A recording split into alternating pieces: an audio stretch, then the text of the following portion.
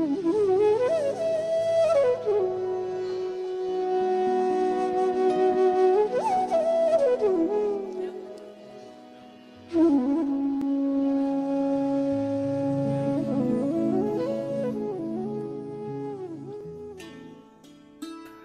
राम समर्थ, अक्टूबर एक। उत्सव में भगवान के प्रति प्रेम ही मुख्य है। उत्सव में तुम्हें बहुत परिश्रम करने पड़े। विवाह में सच्चे विवाह विधि के लिए, अर्थात अंतरपट डालकर सप्तपदी होने तक थोड़ा ही समय लगता है। किंतु इस संस्कार का महत्व और गंभीरता मन पर अंकित हो, इसलिए चार दिन लगातार बहुत समारोह किए जाते हैं। उसी प्रकार उत्सव में भगवान के प्रति प्रेम मुख्य है। शेष आनंद और उत्साह उसके लिए पोषण के रूप में हो। हमारा प्रत्येक त्योहार हमें भगवान का स्मरण करा देने के लिए है। देव देवताओं के उत्सव भी भगवान के प्रति प्रेम बढ़े इसलिए होते हैं। दीपावली में पटाखे फोड़ना, मीठा खाना, नाश्ता करना आदि बातें पिछला दुख भुलाने जाने के लिए होती है। क्या उत्सव, क्या त्योहार, क्या धार्मिक विधि क्या तीर्थ स्थान जाकर पूजा पाठ करना आदि सब कार्य भगवान का प्रेम प्राप्त हो इसलिए किए जाते हैं। यही सब बातों का मुख्य हेतु होता है। हमारे द्वारा होने वाली प्रत्येक बात भगवान की कृपा से ही हो रही है। यह भावना निर्माण होनी चाहिए। परिणामतः हमारी हवस कम होकर भगवान के प्रति प्रेम निर्माण होगा।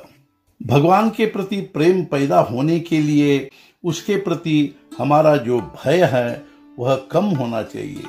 हम कहते हैं कि हमारा भूत प्रेत में विश्वास नहीं है। किंतु जहाँ किसी ने किसी को टोटका किया हो या भूत ने पछाड़ा हो तो हमें डर लगता है। जो डर हमें भूत के बारे में लगता है, वही डर हमें भगवान के बारे में लगता हो तो उसके बारे में प्रेम कैसे पैदा होगा? अतः पहले भगवान के प्रति जो डर है, वह हटाओ। भगवान कभी किसी का अहित नहीं करेंगे। इसमें विश्वास रखो। भगवान दया का सागर है। क्या कभी माता के मन में अपने बालक को दुख हो, पीड़ा हो, ऐसी भावना पैदा होगी? हम उसे लगन से, आर्त भाव से पुकारते ही नहीं। बस यही हमसे भूल होती है।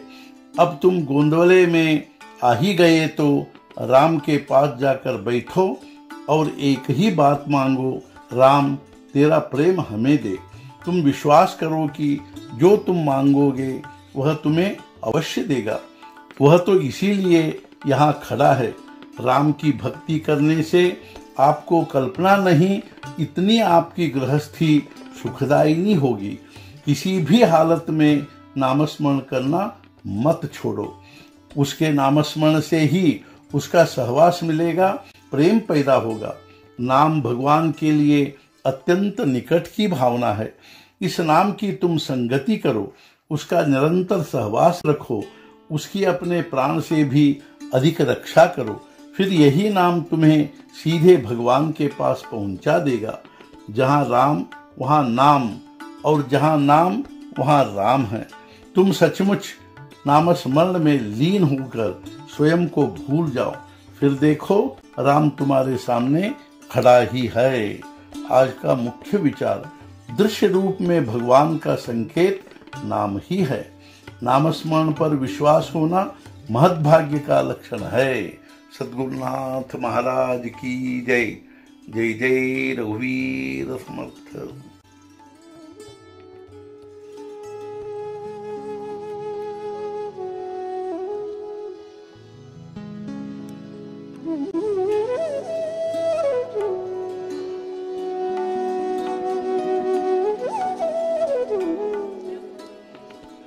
嗯。